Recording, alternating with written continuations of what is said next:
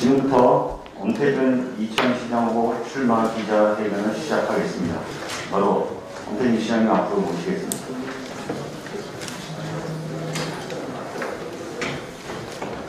안녕하세요. 존경하는 이천 시민 여러분, 저는 오늘 정성스러운 마음으로 인선 8기 이천 시장 선거 출마를 선언합니다. 4년 전 저는 시민 여러분들의 큰 사랑에 덕분에 인선 7기 이천시를 책임지는 무한한 영광을 부여받았습니다. 너무나 감사하고 너무나 행복했습니다. 지난 4년은 시민이 주인이라고 하는 당연한 사실을 이천시에 뿌리내리기 위해 노력한 시간들이었습니다. 오랜 기간 공직에 몸 담으시고 행정 전문가이신 유승우 조정돈 두분 선배 시장님들의 성과를 바탕으로 민간의 창의력과 도전 정신을 접목시키기 위해서 온 힘을 다했습니다. 성과도 많았고 아쉬움도 있었습니다. 저는 지방자치 선택의 핵심은 시민이 주인의 위치에 서느냐 아니면 관리 대상으로 전략 전락하는 데 달려있다고 생각했습니다. 따라서 단체장이 해야 할 가장 중요한 일은 시민이 주인이 될 수 있는 방법을 찾아서 정책으로 연결시키고 과감하게 추진하는 것이라고 생각했습니다. 그래서 이천 구석구석을 부지런히 찾아다니면서 시민 여러분들의 생생한 말씀을 듣고 또 들었습니다. 421개 마을을 한 군데도 빠짐없이 찾아내었습니다. 83개 아파트 지역도 모두 찾아냈습니다.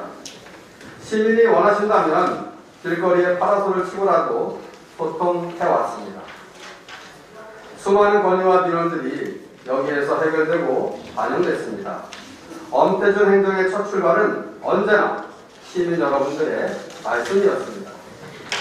둘째로 시장의 모든 일을 시민 여러분들께 공개해왔습니다. 4년 내내 업무를 보는 날이면 하루도 거르지 않고 모든 일정을 공개했습니다. 이것은 주권 의지를 배제하는 제가 주권자인 시민 여러분들께 드리는 일일 업무 보고였습니다. 셋째로 저는 세금을 내는 시민이 세금을 쓰는 데 있어서도 주인이 돼야 한다고 생각했습니다. 시민 여러분이 삶을 영위하는 현장에서 예산을 세우고 또 집행하고 평가하는 시스템이 바로 뿌리 내릴 수 있도록 꾸준하게 추진해 왔습니다. 처음에는 다소 어색했지만 지금은 14개 운전도 모두 이 시스템에 익숙해졌습니다. 그 결과 지방자치의 새로운 모델이 이천에서 만들어지고 있습니다. 이천시는 마을 공동체 도시, 연합도시라고 불러도 좋을 만큼 성장하고 있는 것입니다. 마을 주민이 주체가 되어 완성하는 행복마을 공동체는 이천시가 추구하는 궁극적인 목표입니다. 이 정책은 앞으로도 더 확대하고 더 발전시켜야 합니다. 한편 지방자치가 성공하기 위해서 반드시 해결해야 할 과제가 바로 지역 균형 발전입니다. 장호원이 읍으로 승격된 지가 80년이 지났지만 시간이 멈춘 듯 발전은 더뎠습니다. 수도권 역차별 때문에 오히려 축소되기까지 했습니다. 저는 이천 남북권 균형 발전 사업으로 장호원 성남 609 구간 공사를 재개시키고 응급 의료 시설과 다목적 시설을 확충하고 장원 터미널 개선 사업과 남북번역 농업 활성화 지원 사업 그리고 장원 읍사무소 확대 등 많은 SOC 사업들을 추진해 왔습니다. 이런 사업들을 통해서 장원과 이천 남북권이 살아나는 계기가 될 거라고 확신합니다. 아울러 여기에 더해서 저는 보다 획기적인 균형, 균형 발전 플랜을 추진하겠다는 말씀을 드립니다. 이 밖에도 지난 4년은 사업적인 성과가 많았습니다. 가장 기뻤던 것은 이천시가 공약검증 최고기관인 한국 매니페스토 실천 본부로부터 우수 지자체로 선정된 것입니다. 주요 100대 공약이 97% 이행률을 기록했습니다. 71%는 완전히 끝났고 26%는 착실히 진행 중에 있습니다. 주권자인 시민의 대리인으로서 약속드린 사업들을 지킬 수 있게 되어서 얼마나 감사한 마음인지 모릅니다. 4272세대의 요람인 중리 신도시의 토목공사가 이제 마무리 단계에 접어들었습니다. 거리의 동맥경화를 뻥 뚫어줄 주차시설의 공사도 착착 진행되고 있습니다. 모두 11곳인데 2,400여 대가 주차할 수 있는 역대 최대 규모라고 할 수 있겠습니다. 교통호재도 넘쳐났습니다. 모든 길은 2천으로 통한다는 말이 바로 현실이 됐습니다. 자동차 전용도로 609 구간 정상화를 비롯해서 평택 강릉 간 고속철도화 사업이 확정됐습니다. 이제 강릉까지 1시간입니다. 중부대륙철도 1단계 개통으로 해서 충주까지는 30분이면 주파합니다. 오랜 수건 사업이었던 국지도 70호선 설계 용역 국비도 이미 확보했습니다. 이천 잠실에 이어서 이천 강남을 잇는 광역버스도 개통되었습니다. 고용률 1위도 놓치지 않았습니다. 3회 연속 경기도 1위를 달성했습니다.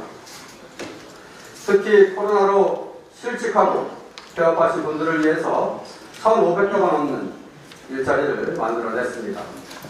자영업자, 소상공인, 소상공인들을 위해서 3차에 걸쳐서 재난기본소득을 지원하고 300억 원 규모의 2천사랑 지역화폐를 발행해서 순수한 지역 소비를 이끌어냈습니다. 설봉은 스토커에서 사진 찍고 또 음악 공수를 즐기려는 시민들의 발걸음이 활기찹니다. 사업적인 성과에 이어서 더 큰 의미가 있었던 것은 위기 앞에 당당하고 갈등에서 화합을 이끌어내었던 시민 여러분들과 저의 일심동체입니다. 코로나 초기 대혼란 국면에서 우한 주민들을 받아들여야만 했을 때 장원 주민들을 주민들의 헌신적인 결단으로 성공적인 입소를 마쳤습니다. 경기도 차원의 지원도 이끌어냈습니다. 수많은 목숨을 앗아갔던 한익스프레스 화재 때는 엄청난 갈등이 폭발했지만 저와 시민 여러분들이 합심해서 노력한 결과 원만한 합동 연결식을 신속히 이끌어냈습니다. 그 결과 재난관리평가 1위 도시로 인정 받았습니다. 저는 이 힘으로 지난 4년을 힘차게 달려올 수 있었습니다. 다시 한번 시민 여러분들께 진심으로 감사의 말씀을 드립니다. 존경하는 이천 시민 여러분, 이제 이천시는 또 다른 출발점에 서 있습니다. 7기에서 시작되었던 수많은 사업들이 완성을 기다리고 있습니다. 지난 4년간 단단하게 가진 디딤돌을 딛고 더 큰 이천을 만들기 위한 도전도 바로 눈앞에 있습니다. 새로운 이천, 더 큰 이천은 시민이 주인으로 더욱더 우뚝 서는 이천입니다. 14개 운명동 모두 골고루 발전하는 행복한 마을 공동체가 되어야만 합니다. 수건 사업이었던 시립 화장장도 반드시 설립해야 하고 동이천 IC와 하이닉스 하이패스 IC 공사도 조속히 마무리 져야 합니다. 이천의 가문인 터미널을 최첨단 현대식 복합 교통타운으로 재탄생시켜야만 합니다. 30년간 중리복개천을 숨막히게 했던 콘크리트 덮개도 모두 벗겨내고 자연이 흐르는 생태 하천으로 복원시켜야 합니다. 코로나로 인한 자영업자들 그리고 소상공인들의 고통을 이제는 끝내야 합니다. 대대적인 경- 지역 경기 부양책을 실시해서 지역 상권에 날개를 달아야, 달아야 합니다. 홍수와 가뭄, 기온 변화가 급격히 발생하는 기후 위기에 맞서서 항구적인 물 관리로 가뭄과 홍수를 대비해야만 합니다. 과수를 비롯한 작물의 냉해에 대해서도 철저히 대비해야 하겠습니다. 태양에너지를 비롯한 재생에너지를 지역에서 생산하는 시스템을 개발해야 합니다. 이를 통해서 마을 공동체 자주 재원도 확보할 수 있게 될 것입니다. 29년까지 계획된 117개 도선의 도로 공사를 성공적으로 추진해서 거미줄 교통망을 꼭 완성해야 합니다. 여성 비전센터와 청소년 생활문화센터도 완공을 기다리고 있습니다. 장원을 비롯한 남부권에서 스포츠와 문화를 동시에 즐길 수 있는 고품격 과목적 시설이 곧 완성됩니다. 이 외에도 지난 7기에 첫삽을 뜬 수많은 사업들이 무럭무럭 자라나서 풍성한 열매를 맺을 날을 기다리고 있는 것입니다. 존경하는 이천 시민 여러분, 한 가지 아쉬움이 있다면 시장에 취임해서 본격적으로 사업을 추진하자마자 불어닥쳤던 코로나 여파로 인해서 부상했던 모든 사업들을 충분히 철쳐내지 못했던 것입니다. 시작했지만 효과적으로 마무리하지 못한 일들도 많이 남아 있습니다. 정택은 이천 곳곳에서 추진되고 있는 수많은 사업들, 또 제가 구상하고 제가 추진했던 많은 일들이 연속성을 갖고 완성되기를 간절히 희망하고 있습니다. 지난 7기보다 더 부지런하게 일하겠습니다. 주권자인 시민 여러분들을 주인으로 섬기면서 주권자의 대리 일꾼으로서 이천시의 길을 활짝 열겠습니다. 시민의 위가 아니라 시민의 곁에 있겠습니다. 어려울 땐 제가 앞장서고 책임을 남에게 미루지 않겠습니다. 지난 4년 이력 하나마 실적을 만들었고 실력을 키웠습니다. 새로운 2000, 바쁜 2000으로 도약하기 위해서 제가 가진 모든 것을 바치겠다는 말씀을 드리겠습니다. 감사합니다. 네. 네, 먼저, 어, 민선 8기 이 시장으로 출마하신 것에 축하드리겠습니다. 지난 4년간 시장님께서 정말 많은 일을 하셨는데요. 어, 가장 기억에 남는 음, 사업이 있었다면 어떤 게 있었고, 그 다음에 민선 8기 이 시장으로 되신다면 가장 우선적으로 어, 해야 될 게 어떤 게 있는지, 뭐 여기에서 발표한 내용 말고 혹시 다른 게 있는지 그런 말씀 부탁드립니다. 예, 이 자리에서 밝힌 거 말고 하시라니까 좀, 예, 예, 그렇긴 하고요. 예, 우선, 에, 민선 7기 시장으로서 4년을 다 이렇게 마치는 동안 가장 제 마음속에 크게 보람되게 여겨지는 것은 처음에는 아프리카 대지활동과 코로나 때문에 전체 4년 기간 중에서 1년 정도만 행사를 하고요. 나머지 3년 가까운 기간은 정상적인 행사를 하지 못했습니다. 그래서 어, 굉장히 난감한 상황이었었고요. 그런데 돌아보면 그 순간에 무엇을 해야 할지 고민하다가 이천 관내에 있는 421개 마을을 찾아 직접 발로 뛰면서 그 마을의 수건 사업을 듣고 그것 하나씩 해결해 드리는 것이 지금 시기에 아, 할수 있는 최선이라고 생각해서 열심히 다녔는데 지금 이장님들을 통화를 하고 만나보면 이장님들께서 이렇게 말씀을 하십니다. 지금 말씀하시는 그 내용들을 알고서 그 일을 했던 것은 아닌데 참으로 너무나 보람되지 않을 수 없습니다. 이렇게도 말씀하십니다. 우리 엄 시장이 이장들 통장들의 체면을 살려줬다 이렇게 말씀들 하십니다. 그 말씀들은 그동안 우리 이천시를 비롯해서 많은 그 지자체가 수많은 지자체가 얼마나 거창하고 얼마나 화려한 행동들을 해왔는지를 알 수 있는 것입니다.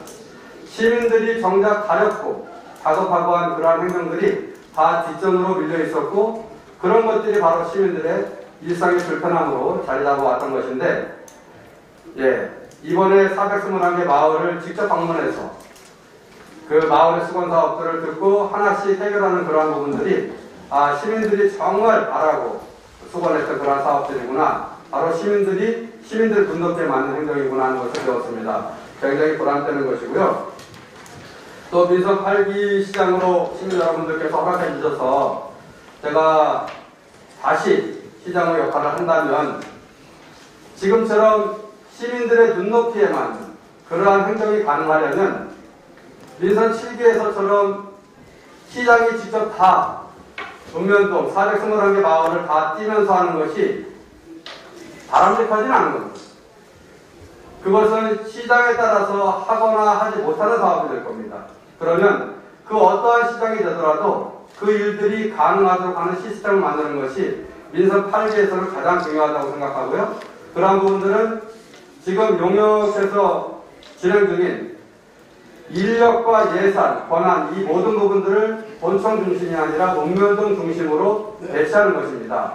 그렇게 해서 시민들, 주민들이 노면 동장을 통해서 효과적이고 신속하게 예, 행정을 통해서 시민들의 불편을 해소하는 그러한 시스템들을 갖춰내는 것이라고 생각하고 그것이 정말 잘 구축되어지고 이렇게 실시가 된다, 시행이 된다면 시민 여러분들 입장에서는 시장이 바뀌어도 시민들의 삶은 온전하게 유지될 수 있다고 생각해서 그 부분을 가장 역적으로 생각을 하고 있습니다. 예, 다음 질문. 네, 그 우만 정의자입니다. 그 지금 민주당 단수 후보로서 출마하시는데 책임감이 좀 막중하실 것 같은데 선거 임하는 각오와 본인만의 뭐 강점 이런 데서 말씀 부탁드리겠습니다. 예, 사실 질문은 쉽지 않은 질문이고요. 어, 잘못하면 또 이렇게 추상적으로, 그렇게 개괄적으로 답변 드릴 수밖에 없는데, 저는 그렇습니다. 얼마 전에 이제 대선이 공교롭게도 있었고요. 또 얼마 있으면 또 당선자의 대통령 취임식이 있고 나서 한 달도 안 돼서 지방선거를 치러야 합니다. 저희들이 쉽게 생각하면 그렇게 대선의 결과가 지방선거에 큰 영향을 주게 될 것이고 그렇다면 저는 민주당의 후보로서는 예 사실 많이 어려운 것이 사실입니다. 그렇지만 저는 이번 선거도 그렇고 그동안 시민들로부터 이런 말씀을 너무나 많이 들었습니다. 지방선거에 정당이 이렇게 개입하는 것 정당과 지방선거가 이렇게 맞물려 가는 것에 대해서 시민 여러분들은 사실 동의하지 않습니다. 오히려 지방 자- 지차, 지자체의 살림을 감당해야 되는 것은 정당이 아니라 결국은 시장 개인이기 때문에 개인의 역량에 따라서 인물에 따라서 그것이 결정된다고 믿는 시민들이 굉장히 많습니다. 그래서 아까 말씀드렸던 것처럼 저는 421개 마을을 예, 발로 뛰면서 마을의 수건 사업들을 해결하려고 노력을 했고 또 월화수목금 매일같이 시정을 하나도 빠짐없이 시민 여러분들께 보고해드렸습니다. 이러한 부분들이 결국 대선의 영향 또 정당 지형의 유불리에도 불구하고 시민 여러분들이 지혜로운 선택을 하실 거라고 믿고 최선을 다해서 우리 시민 여러분들과 소통하고 저의 진정성을 예, 이렇게 이해시켜드리도록 최선을 다하겠다는 말씀을 드립니다. 예, 다음 분 질문 받겠습니다.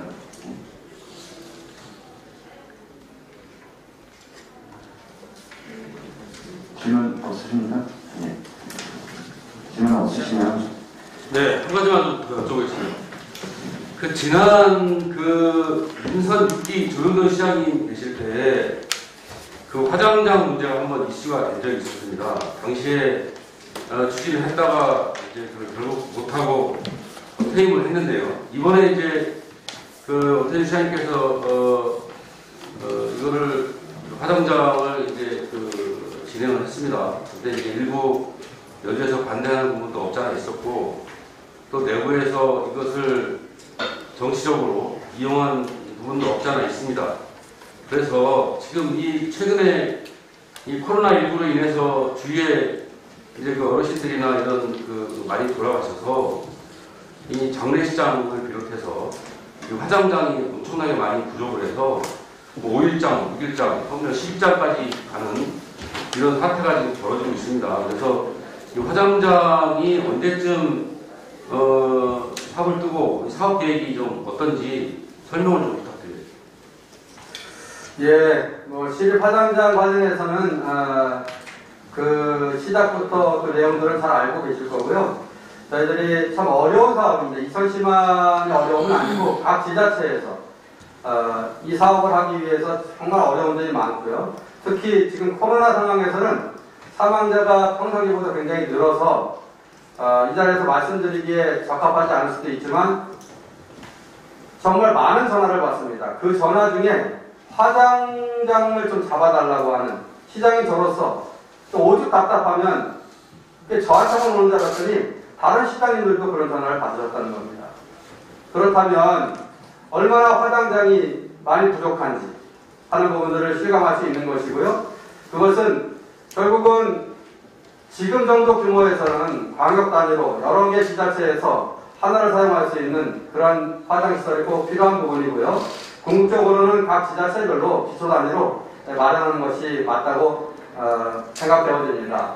다만 아시는 것처럼 저희들이 어, 민주적으로 공모 절차를 거쳐서 우리 2012 화장시설을 지금 추진해 오고 어, 진행하고 있는 과정에 우리 여주 시민들로부터 예, 그 인접해 있는 여주 시민들로부터 반대를 어, 받고 있는 상황이고요. 저희들은 그렇습니다.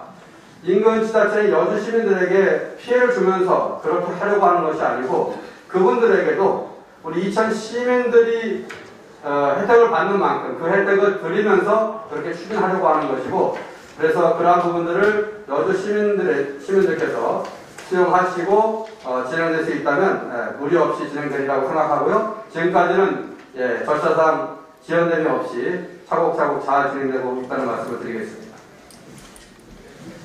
네.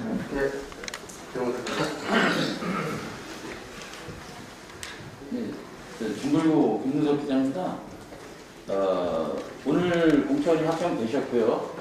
근데 이제 그 이 선거 선대위 그 조직이 구성이 되셨는지 또 어떤 분이 선대위원장을 맡고 계시고 이런 부분을 좀 알려주셨으면 좋겠고요.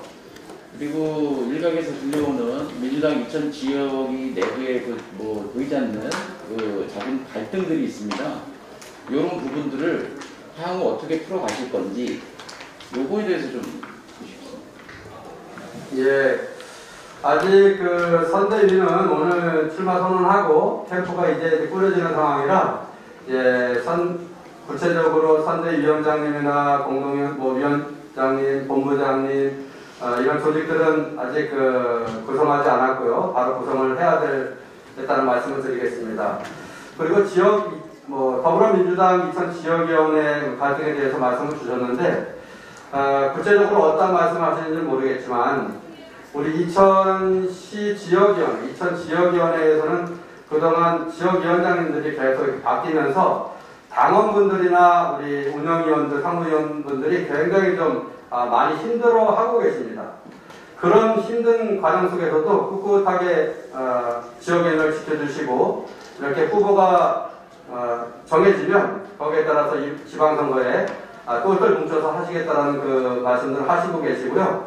그래서 뭐 저희 당뿐만 아니라 뭐 다른 당도 마찬가지겠지만 이 지방선거가 끝나면 전당대회가 다 열려지고요. 그때는 역시 우리 이천시도 예, 그 공모 절차에 의해서 어, 새로운 지역위원장님이 이렇게 세워질 거고 예, 그렇게 되면 어, 모든 것이 정상화되리라고 생각합니다. 그 과정에 가장 중요한 건 역시 어, 지방선거 승리라고 그렇게 생각을 하고 있습니다.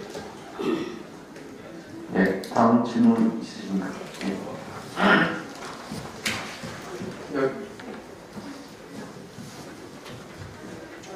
어, 지난 4년간 그 가장 그 국가적으로도 어려웠지만 자치단체에서도 가장 국민들이 겪지 못했던 그런 코로나 시기를 어, 이천 시장이라는 그 자치단체장으로서 끌어오시면서 어, 수고도 많이 하신 것 알고 있습니다. 또한 코로나 그때 또 저희가 어, 이천시가 가장 어려운 시기에 자치단체장으로서 그 큰 결정을 또 하셨고 그런 것들에 대해서 저희들이 지금 이렇게 자료를 보면서 오늘 자료를 보면서 되는데요. 어, 그때를 기점으로 해서 지금 오늘 이제 4월 18일이 되면서 코로나 해제라는 이런 정말 그 국민들에게 통합할 수 있는 이런 시점에서 회견을 하신다고 그래서 더 큰 또 의미가 있지 않나 그런 생각을 합니다. 저희 자치단체로서는. 그 코로나를 대비하면서 정말 우리가 그 겪지 못했던 그 시간들을 하나의 그 프로세스가 움직일 수 있었던 것은 어떤 이천 시민들에 대한 또 강점이었는지 이거에 대해서 그래도 한, 한 말씀 시작부터 지금까지 어떤 그런 것들이 하나의 그 진짜 어, 마지막 결론을 그래도 좋게 지금 좀 하고 있어서 네, 그걸 한번 여쭤보고 싶습니다. 예, 뭐, 이천시 말고도 다른 지자체도, 예, 충실히 다 잘해오고 계시다고, 예, 생각이 되어지고요. 다만 이제 저는, 어, 이천시장의 역할을 처음 하는 거였고, 그러한 과정에, 에, 코로나19 또 제3차 우한교민을 또 맞이하는 일들, 또 그 과정에는 또 한익스프레스 물류창고 화재 참사 38분의 또 생명을 잃는 그러한 일들이 이렇게 발생을 해서 그것을 감당해 내야 됐었습니다. 그런데 그 중에서 고민도 많았지만 결국은 가장 중요한 건 그 순간에 가장 힘들어할 사람이 누군지 그리고 어, 그분들의 그 신경의 내용이 어떤 것인지 그것을 나눌 수 있는 아, 그 분위기를 만들어내고 함께 그 아픔을 나눌 수 있는 그 것이 가장 중요하다고 생각했습니다. 이를테면 할리스프레스 물류창고 화재로 38분의 유가 어, 어, 생명이 희생되었을 때 전국에서 유가족 분들이 오셨습니다. 저는 그 다음날 그 텐트마다 찾아가서 무릎을 꿇고 유가족 분들께 예, 정말 아, 죄송하다 이렇게 말씀을 드렸는데 그때도 이런 얘기를 했습니다.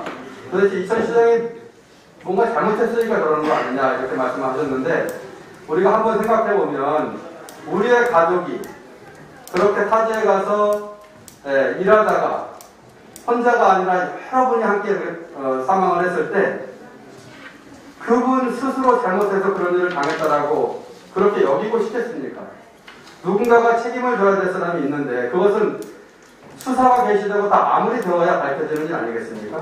그러면 이 지역에서 발생한 일이고 하면 그 이천 시를 책임지고 있는 저라도 나서서 네, 구체적인 책임을 지겠다는 것이 아니라 그러한 부분들을 말씀을 드리고 함께 함께 울어드리고 또 현장 시상들을 어, 만들어서 하루에 최소한 한 가지를 거기에 같이 있고 그러면서 한 열흘 정도, 2주 정도 지났을 때 유가족 분들의 마음이 움직이는 것을 느낄 수가 있는 겁니다. 그 상황에서도 수사기관이나 여러 기관들하고 유가족들이 부딪힐 때마다 이천시의 관심, 가장 중요한 것은 유가족 분들 바로 옆에 앉는 것이었습니다. 그분들이 이야기하고 싶은데 전문가가 아니어서 이야기 못하는 부분들을 우리가 거들어 드는 겁니다. 그것은 그분들의 마음이 누그러질 수 있기 때문입니다. 정말 그 결과 경기도나 중앙정부가 예상했던 것보다도 우리가 언론을 통해서 밀양이나 제천에서 그 수년이 걸려도 해결되지 않았, 않았 던 그 부분들 또 세월호는 지금까지도 진행형 아닙니까? 그 모든 일들에 저는 핵심이 거기에 있다고 생각합니다. 그 유가족분들을 단순히 돈 문제로만 취급을 하고 그분들의 힘겨움이나 그 감당하기 어려운 그 고통들을 어느 누구라도 나누려고 했습니다.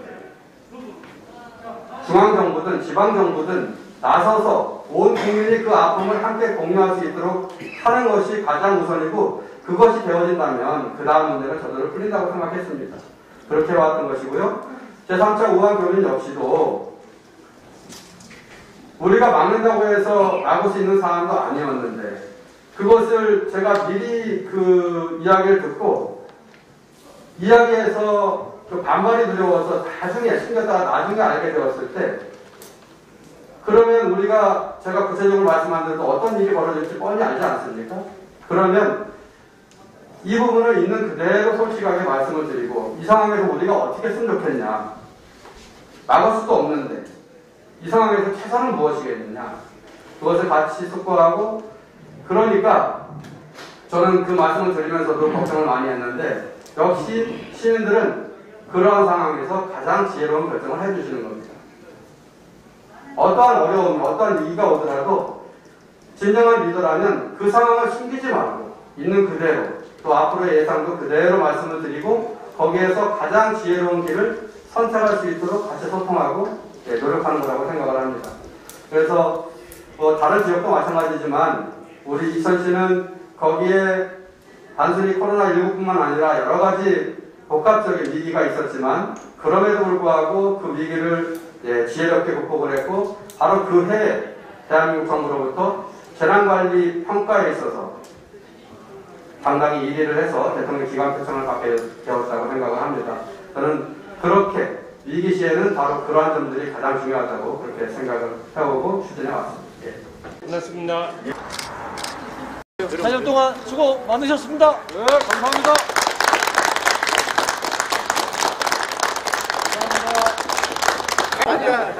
원모